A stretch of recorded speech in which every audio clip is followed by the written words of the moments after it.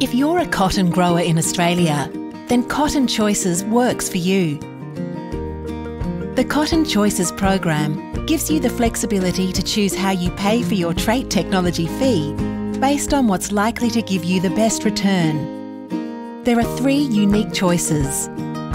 Choice 1 Price discount gives you the ability to choose an upfront discount for your selected fields.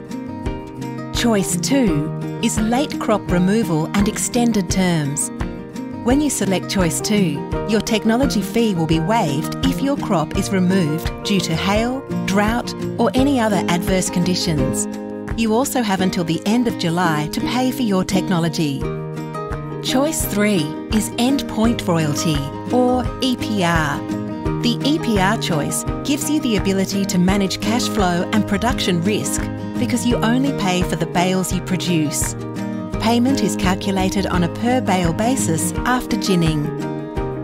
We understand that flexibility is key, which is why you can choose a different cotton choice for each one of your fields. And to ensure you have the best available information to make your decision, the program now enables you to switch between Cotton Choice 2 and Cotton Choice 3 until 12 April if you planted in planting window 1 or 10 May if you planted in planting window 2.